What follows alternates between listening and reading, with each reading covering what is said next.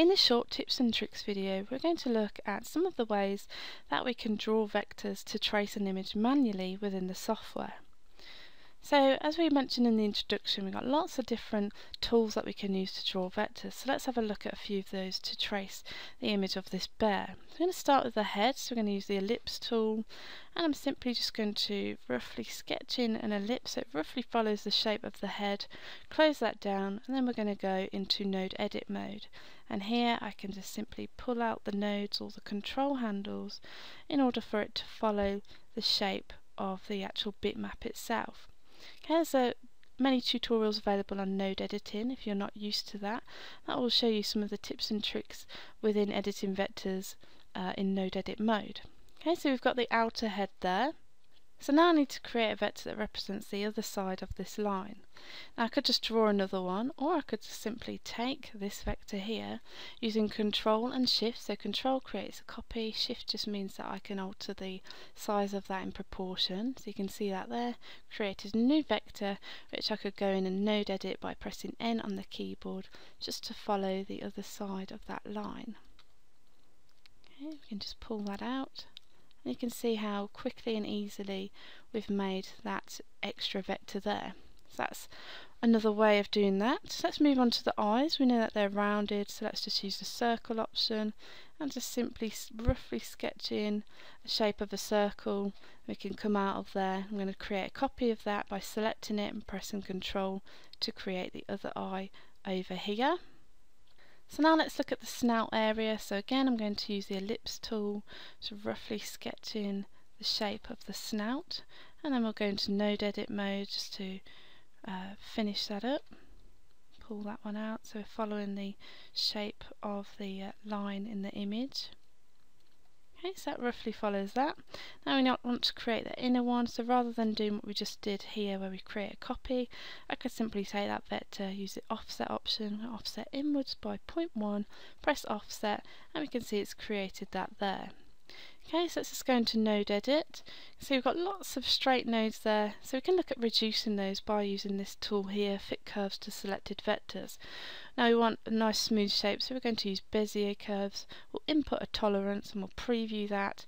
We can see it still pretty much follows the shape, we've just reduced the amount of nodes we've got, and the, we've got nice smooth points with Bezier spans in there. So we can OK that, and I'm happy with what we've got there. Let's look at drawing the ear. For this I'm going to use the polyline tool. I'm going to use this technique where I'm just going to click here, click to this point here and I'm going to go back to the start point. So I've got two spans in there. So I'm going to take that, go into node edit mode by pressing N on the keyboard, press B to turn that into a Bezier span so these control handles come up.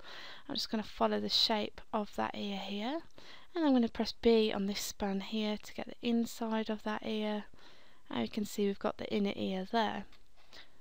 So for the right ear, what I'm going to do is take this vector here, go into the mirror option, flip about center, flip horizontal, close that down. You can see it's created that mirror copy there and I'm simply just going to move that roughly in place to where the bitmap is.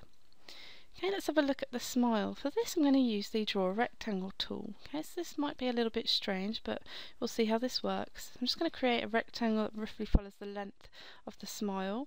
Go into node edit mode, and I'm simply just going to place the corners of that rectangle to the corners of the smile and then I'm going to press B to bezier this bottom bit to create the bottom half of the smile here okay and then we'll do the same this side be there and create that smile here. Okay, let's have a look at the nose. Another tool we could use is to draw curve. So if we just zoom in, this is like the polyline tool, except it will just automatically input smooth points. You can see that there. And then we'll look at another option for the uh, arm here. So let's use the ellipse tool. I'm just going to simply draw in a shape and just rotate that around. And let's go into node edit mode to try and closely follow that shape. So just pulling on those handles, bring that down, bring this one across, move that one over. Okay, so I'm fairly happy with that. Then we'll do another one. So let's just bring that in just to get the inside. Okay, we're going to node edit mode and I'm simply just going to pull that over here, bring that one up here move that one across.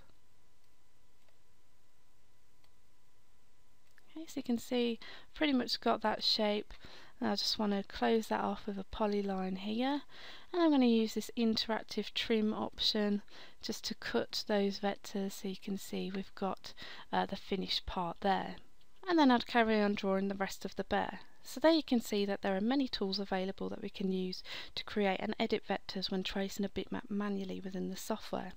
that completes this short video. Thank you for watching.